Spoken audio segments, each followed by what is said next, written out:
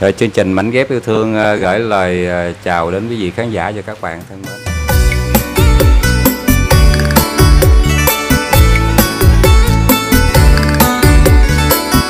Hôm nay ờ, chương trình có tiếp một người chị từ thành phố Hồ Chí Minh đến với chương trình mảnh ghép yêu thương, một người chị rất là xinh xắn luôn. Dạ, dạ chương trình chào chị. Dạ, Chị có thể uh, chào quý vị khán giả cũng như cho quý vị khán giả biết tên tuổi của mình chị. chào uh, quý vị khán giả ờ, trên uh, cộng đồng mạng trong nước và ngoài nước. À, mình tên là Phạm Thị Mạnh. Hiện tại uh, thì quê mình ở Tháp 10 nhưng mà về hiện giờ thì mình ở thành phố Hồ Chí Minh. Năm nay à, là trong cũng như giấy căn cước là 1963 nhưng ở ngoài là 1964 tuổi thìn đó. Dạ, tuổi tình là 59 tuổi chị. Dạ, Dạ chị mình là quê gốc của mình là ở Đồng Tháp. dạ. Dạ. Chị đến với ờ, chương trình mảnh ghép yêu thương của mình này chị, tình trạng hôn nhân của chị như thế nào chị mình? Chàng à, ông xã à, bị tai nạn giao thông chết đến nay là à, 20 năm Dạ, 20 năm. Hai anh chị được mấy người con ờ, chị mình? được à, 5 người con Năm người con. Dạ, mấy trai mấy gái chị?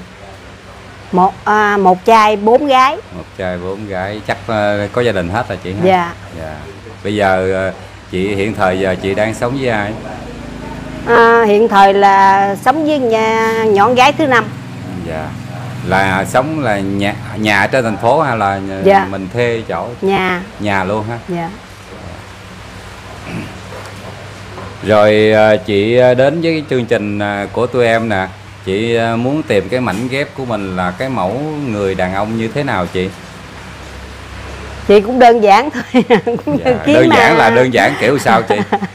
kiếm mà mảnh ghép à, mẫu người đàn ông là kiểu ờ, biết ờ, yêu thương vợ con với thật lòng vậy thôi. Chứ ờ, không có cái kiểu như là là cái gì? Gia trưởng hả? gia trưởng. À, gia trưởng. Chị sợ lắm tại vì à, hồi à, không phải mình nói mà để mình nói xấu chồng mình nha. Hồi đó à, mình gặp ông chồng đó là kiểu cũng như ăn nhậu bê tha. Kiểu như không có vợ chồng không có không hạnh phúc nữa là ảnh chết là cũng do lì nhậu đó mà bị tai nạn giao thông bởi vậy giờ chị thấy mà đàn ông nhậu là chị sợ lắm. Vậy là chị muốn cái ờ, nửa mảnh ghép của mình là người không rượu chè không cũng nhậu nhưng mà nhậu cũng phải biết là điểm dừng À. nhậu chút ít thôi cũng như là đàn ông mà không nhậu là cũng không xài được. À, mà với khó khăn với vợ với con lắm. Dạ. nhưng mà có nhậu á Rồi, chứ không rồi, phải không ờ, ai nhậu. Thuốc lá, cà phê có được không? không đó bình thường. Rồi bình thường ha. Nhưng mà kỳ cái nhậu thôi. À, Có nghĩa là nhậu chút chút thôi ha. Dạ. Nhậu biết đường về là được ha. Đúng rồi. Dạ. Công việc hiện tại của chị à, Rồi bây giờ là chị sống ở ờ, thành phố Hồ Chí Minh, chị sống với người con gái. Dạ. Là chị có làm gì công việc gì không chị? không cũng như là hồi à, ông xã chết á. Dạ.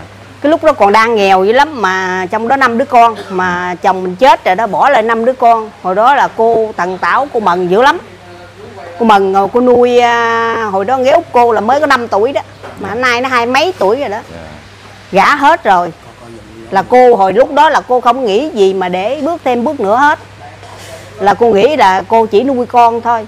Nhưng mà ngày giờ này cũng như kiểu như gả đồ xong xuôi hết rồi đó. Nên ờ, nhiều khi giờ cô ở với con gái á, thì nào ngay nó không có thiếu gì hết á. Nhưng mà cảm thấy cũng buồn. Nhiều khi mình đi ra ngoài đường á thấy người ta đi có bạn có đôi mình đi mình á thấy nó cũng buồn dữ lắm. Chứ không phải gì mà bởi vì à, thường thường người ta thường nói người ta nói sao hồi còn trẻ hồi ông xã chết là mới có ba chín tuổi à sao không chịu lấy chồng mà giờ tới 60 tuổi mới đi lấy chồng Vậy là lúc 39 tuổi là là cô ở như thế cho tới tới giờ luôn. đúng rồi Không không quen một mối tình nào nữa. hồi đó là ông xã cô nhậu quá đó cái ờ, tự nhiên cô thấy đàn ông là cô sợ Ừ. ai ghẹo cô cô cũng sợ hết trơn á Dạ. cô không có dám không dám mà sợ mình bước thêm mới gặp vậy nữa đó trời ơi khổ quá trời luôn rồi Rồi bây giờ bây giờ cô có ý nghĩ sao mà cô quyết định không sợ nữa? tại vì giờ nhiều khi à, mình lo cho con mình tròn hết rồi giờ nó lớn rồi đứa nào cũng có có, có đôi có bạn hết rồi. Giờ khi mình nằm á chèo queo hay là mình muốn ờ, nhiều khi á, con mình mắc bệnh nó rảnh á, thì nó dắt mình đi du lịch á, thì cũng được Ngồi nhưng mà nó không rảnh á, nhiều khi mình muốn đi á đi mình cái thấy cũng không có ý nghĩa gì. Dạ. dạ. Bởi là vậy cô cô thích đi ờ, du lịch dữ lắm Hồi mỗi- cô được ờ, mấy người cháu nội cháu ngoại rồi ờ, cô Mạnh? Là tám đứa bảy tám đứa vậy đó.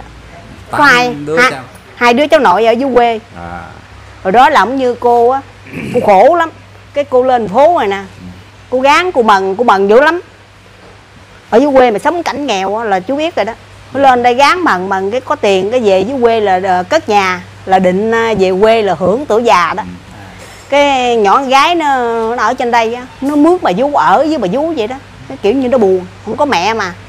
Rồi cái nó không cho ở dưới nó rước lên đây ở với nó. Cũng như đi đi về về ở dưới đây thì thằng trai nào ngay nó thờ à, cha nó với ông ông ông già chồng á.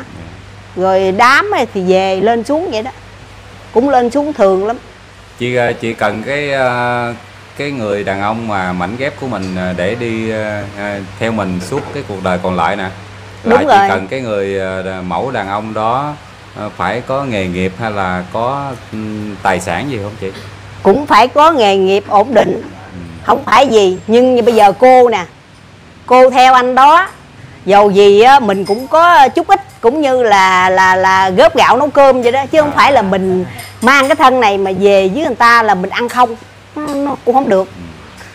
Cô Có nghĩa cô nghĩ là- vậy thôi. có nghĩa là à, cái mối tình già mình đến với nhau ví dụ phải phải góp gạo và thổi cơm ha. Đúng rồi cũng như công bằng thôi chứ không ai mà nương tựa ai hết. Có cái nghĩa kiểu là như phải lo cho được bản thân mình. Đúng rồi. Rồi ngoài ra ờ, cô mạnh còn đòi hỏi thêm những cái gì nữa hay không? Ở cái người đàn ông ờ, sắp cô là chỉ à, muốn người đàn ông phải chân thật là à, không có cái kiểu mà gian dối hay là nói một đường làm nẻo á. cô À, cũng không chịu. Nói được là phải làm được. Cô là cái tánh cô vậy đó. Hồi xưa là cô ở dưới quê ha, cô nghèo là bao nhiêu người khi dễ cô vậy đó. là cô mới tức cô lên sài gòn là cô phải làm cho bằng được. Cô làm cái kiểu như cho người ta đừng khi dễ mình vậy đó. Dạ. Đó. Cái tánh cô là vậy đó. Nhưng sau cùng nó thành công ha là cô làm thành công nhưng mà thành công trước khi á người ta kia dễ cô.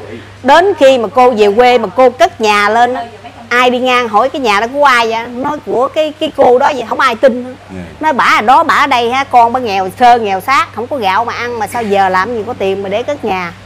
Người ta không tin. Nhưng mà cô cất nhà rồi á là cô mời à, tân gia là người ta mới biết là là là cô mới có cái nhà đó. Nhưng hồi đó không phải mình nói hồi đó cô nghèo ở quỹ ban đó cấp khổ trợ mà giờ cho um, gia đình nghèo á. Chưa bao giờ cấp cho cô được cái gì. Mà con cô lem nheo lắc nhóc á nha. Nhưng mà cô cũng không cần thiết. Nhưng bây giờ cô mần à, có tiền. Mà nào ngay cô cũng mần gì hết. Nhưng mà con gái cô nhỏ đó đó nó mần có tiền là lúc nào nó cũng không phải mình nói nó nó nó nó nó, nó cho cô để tiền trong tài khoản là lúc nào không bao giờ cô xài mà hết trong tới cái tiền đó hết. Nhưng mà chút chút ít chút ít vậy đó. Nhưng mà bây giờ cô hà tiện hà tặng cô cũng như kiểu như giờ cô ăn hà tiện lại mình lớn rồi. Là cô dễ dành tiền đó đó. Cô về với xã cô á ai nghèo ai khổ cô giúp đỡ. Ừ, xin ví dụ như xin nhà cất nhà tình thương hay gì đó là ví dụ cô góp vô là 1 triệu 2 triệu 3 triệu có khả năng. Còn ví dụ cô cũng hay đi chùa đi núi dữ lắm à. Dạ. hả? Cô đi dữ lắm nhưng mà cô đi á, là có tiền cô mua gạo. Cô để vô mấy cái nhà mà nấu cơm cho từ thiện á. Dạ. đó. Cô cũng làm nhưng mà mình bây giờ mình không có hứa. Mình có ít mình làm ít. Mình có nhiều mình làm nhiều. Cái chuyện từ thiện mà đâu có ai ép buộc mình. Dạ. Đó thì cô giờ cô có lòng vậy thôi nhưng mà cô cũng muốn là kiếm một người là thật lòng với cô chứ cái kiểu như là đừng có giả dối mà đừng có cái kiểu uh, gia trưởng đồ này kia gọi là cô sợ chứ lắm thiệt luôn cũng trải qua là mình cũng ớn cô rồi. trải qua là giờ cô sợ luôn á. nói tới là cô sợ rồi à, cô đến với chương trình này nè à, những người con của cô có biết không trời ơi con gái ờ, thứ hai cô á, nó đốc hoài luôn á mà cô nói cô ngại cô mắc cỡ cô nói trời ơi hồi trẻ không ờ, không đi lên đây mà nay 60 tuổi mà lên đây nó kỳ quá Dạ. Cái nó nói mẹ giờ thảnh thơi rồi đâu có dướng bận ai nữa đâu. Như vậy Thì- là cái động lực nào để mà cô à, đến với chương trình? Cái động lực thấy con cái kiểu như đứa nào cũng đốc vậy đó. Nó nói hồi xưa là nó thấy mẹ cũng cực khổ vậy đó. Nhưng mà giờ ờ, làm thì cũng nên sự nghiệp rồi giờ thì nó cũng như muốn cho mẹ thoải mái vậy đó. Dạ. nhưng mà nó cũng dắt cô đi du lịch hoài à. Nhưng mà có khi nó mắc mần á, thì nó không có đi được mà nó nói đi mẹ đi thì con bóc ché cho mẹ đi mà đi một mình nó thấy nó buồn lắm. Dạ. Lúc đầu chị tới đây cô tới đây cô có thấy ru- run không? Cũng bớt chung giờ bớt run rồi ha. Bây giờ thoải trò chuyện thoải mái cởi mở lên nó bớt run rồi ha. Bớt dạ. Rồi à, ngoài cái công việc à, sống hàng ngày á cô mạnh cô mạnh có những cái sở thích gì à, như chẳng hạn có thích đi du lịch hay là à, là, là ngoài cái đi chùa là thiện nguyện rồi còn có thích đi du lịch đồ hay là business dã ngoại gì không? Thì à, cô cũng thường mỗi lần cô thường đi du lịch dữ lắm. Cô đi dữ lắm luôn á. Ừ. mà đi ghét rồi giờ cũng ờ, kiểu như mình đi ghét rồi nó cũng không- muốn không không không có thích đi nữa vậy đó. Giờ thấy mình đi kiểu như mình hồi xưa thì con gái mình nó rảnh nó dắt mình đi. Bây giờ nhiều khi đi mình á là biến đi lắm. bây giờ là muốn có anh nào để đi chung ha rồi à, rồi khi mà cái à, anh đó đó là cô mạnh muốn à, cái anh đó là về nhà ở chung với cô mạnh hay là cô mạnh theo anh đó? Không cái chuyện mà bây giờ thật sự là cô có nhà dưới quê thiệt. Dạ. Cái nhà đó là của cô đó cô cất cho thằng trai ở thôi. Nhưng mà cái chuyện mà như là phần gái là có chồng là phải theo chồng. Chứ về nhà cô ở vẫn được nhà cô cất rộng minh mông luôn mà ở dưới quê là là chú biết rồi đó. Cất nhà là rộng dữ lắm chứ không phải chặt hẹp như trên thành phố mình. Thì cái này ở đây đó là chương trình muốn hỏi cô để cô nói ra sự thật. Để Đúng gì- rồi. để, cho các anh à, các chú gì đó à, là thấy có đồng cảm với cô được hay không? Ha là cô dễ lắm. Ha là cái kiểu như là anh đó ở ờ, nơi mình ở ngã rồi lâu lâu gặp cũng được. À, chứ không có gì hết. à, cái đó không ràng buộc. nó còn thoáng như vậy luôn á hả? Đúng thôi cô thoáng cái vụ lắm nhưng mà cái đó phải là giống như giống như tình bạn á cô. Nhưng mà phải thật tình. Cái này cũng mới quan trọng đến mình. Không làm cho người à, không làm cho mất lòng tin. À, cô thí dụ như ờ, cô nói là cô cần cái người đàn ông không gia trưởng. Vậy vậy cô có gia trưởng không? Không. Cô hồi hồi mà chồng cô còn sống á hen Dạ. nói tại vì ông nhậu gì đó. Cái kiểu ông quậy quạ mình đó cái làm cho cái kiểu như mình tức cái chuyện tức là phải nói ghét rồi thành ra nói nhiều nói nói nhây vậy đó. Từ ngày chồng cô chết tới giờ hen là cô biết đi chùa con trai. Là hồi đó cô 10 bây giờ cô bỏ là chỉ còn ba bốn thôi. Dạ. cô dằn tâm xuống cái kiểu vậy đó. Không có ai chọc ghẹo mình cái kiểu như mình dằn xuống vậy đó ai ai cũng có một cái quyền để yêu cầu cái ờ, cái đối phương của mình hết. Đúng. ví dụ như cô thì cũng đòi hỏi một cái người trung thực à, không gia trưởng à, là chỉ biết thương yêu gia đình. Đó à, cái nhiều khi cái mấy cái anh đó cũng phải cần đòi hỏi lại à, cái người phụ nữ của mình là à, như thế nào không có hung dữ à, không có à, nạt nộ chồng. Ví dụ như là chồng con về mỗi khi là cái dọn cơm dọn nước ăn à, cũng có quyền đòi hỏi. Không nhiều khi cô bây giờ này ha là cô thường hay nói mấy đứa em lắm. Bây giờ mấy đứa còn chồng còn vợ thì có gây gỗ cỡ nào cũng nên dằn xếp dạ. đặng ở với nhau. Hồi đó cô sống cũng như là dì con cô chứ không xã cô mà nhậu gì quậy cô ai mà chịu nổi. Dạ. nhiều khi mình không không động tới gì cũng quậy vậy đó. Rồi. kiểu có cái tật. Con cô là thấy biết đó nhưng Dạ. mà cô nói cô nói vậy nè cô gán nhịn đặng sống vì con thôi chứ chuyện đó mình còn trẻ tuổi mình ra là mình kiếm người này người kia là thiếu gì. Dạ. nhưng mà nó cũng không gì cũng không bằng cha ruột hết. Đó hồi đó là cô con cô nhỏ là bốn đứa con gái. Cô không dám bước nữa là gì sợ cha ghẻ đồ này kia đó. Dạ. Bởi vì cô bảo vệ con cô chứ lắm. Ngày giờ này con cô là trưởng thành hết. Nào ngày nhỏ gái lớn giờ cũng có tiệm nấu mi ở sài gòn. Mở tiệm nấu mi cho nhỏ út cũng có sài gòn luôn. Rồi một đứa thì à, có chồng đan mạch đứa thì à, cô ở với nhỏ đó đó. Ừ. đứa nào cũng có công ăn chuyện làm hết. Vậy giờ là cô khỏe rồi con cái rồi thằng con trai á thì cô cất nhà ở dưới. Nó thì mở tiệm sửa xe. Rồi con dâu á thì làm móng gội đầu nối mi. Đó. cũng có công ăn hết. Rồi. nhưng cô bây giờ là nói ngay là cô con cô nó không cho cô mận gì hết trơn á là 10 năm nay luôn. Vậy là cô quyết định theo chồng chứ không có dẫn chồng về nhà đúng không tại vì cô ngại cái gì nè. Dẫn về nhà cái ai cũng nói vậy nè cái cái bà này hồi đó chồng bà chết có bà có ba mấy tuổi mà tại sao bà lấy chồng? Giờ bà 60 tuổi mà bà lấy chồng bà sanh trứng thì ra cũng là cũng là mình hơi sợ bị cái lời dị nghị của bà Đúng con rồi. ha dạ.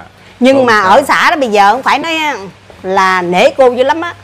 Cô ở xã nào? Ở đồng tháp cô ở xã láng biển láng biển. Láng biển. Ở tháp 10 đi vô đó đâu năm sáu cây số. À, tháp Mười. mà cô cô ở gần chợ luôn chợ gần chợ láng biển á.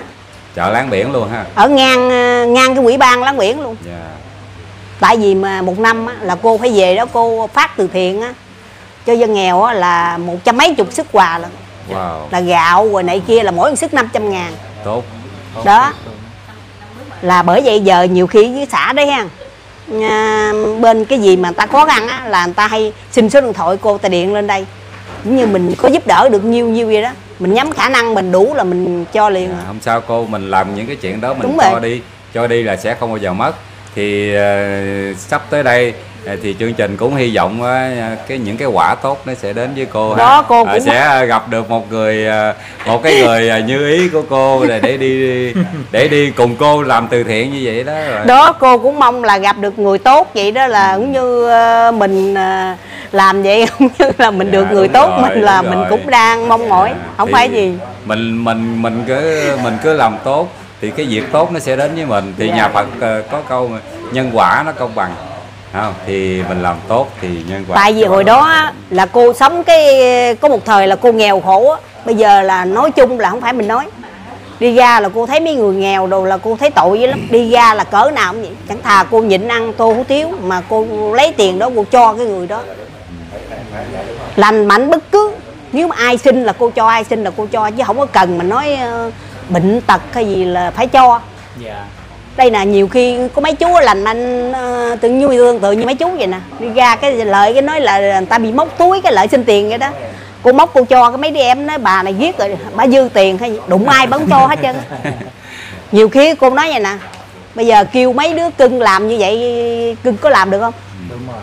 Cũng có cái nổi của người ta người ta mới làm vậy chứ giờ mà kêu không tự nhiên đi xin tiền ai làm được không bao giờ ai làm được hết á đó cô thì nào ngay cô có cái tâm vậy đó. Cô ờ, cô mạnh cô ờ, coi ờ, cái video nào ờ, cô có chọn được cái mảnh ghép nào trên những cái video của tụi con không cô?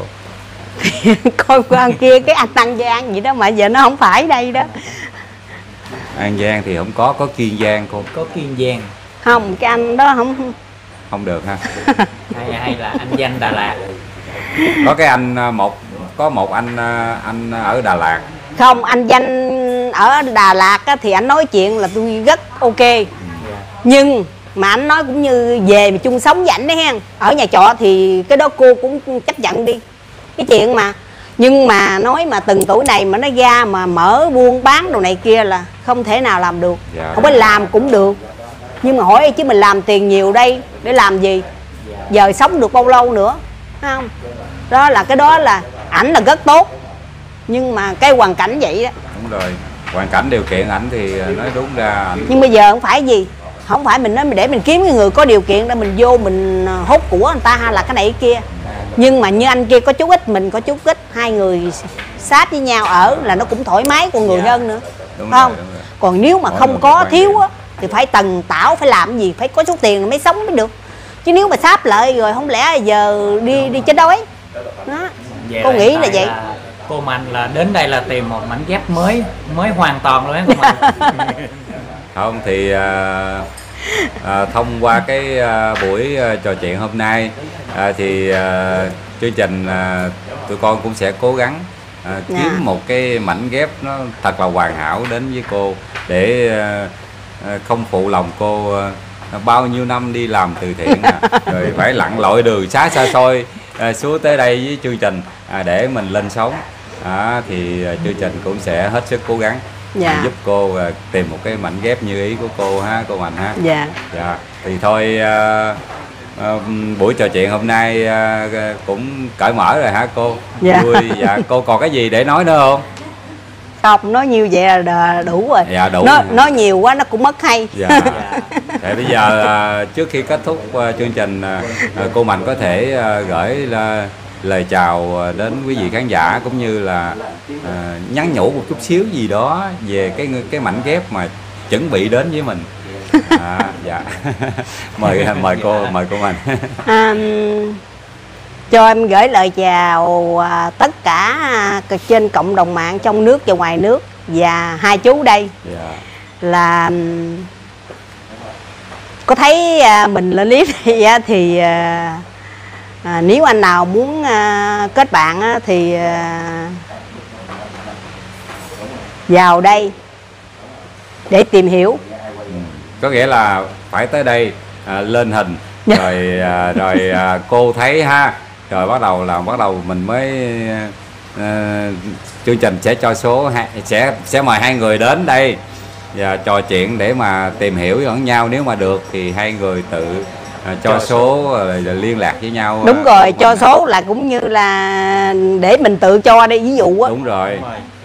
chứ cô á hen là cô kỵ cái từ nào giờ cái zalo facebook cô là không bao giờ là cô cho phải nói nương ông mà lạ lạ hay gì là kết bạn vậy không nó phiền phức lắm. Đúng rồi. Ha thì chương trình tôi con cũng sẽ rất là bảo mật cái chuyện mà cái số liên lạc của cô. Là- thì à, khi mà có mảnh ghép á thì Dạ. à, sẽ à, lên hình phát sóng rồi cho cô xem.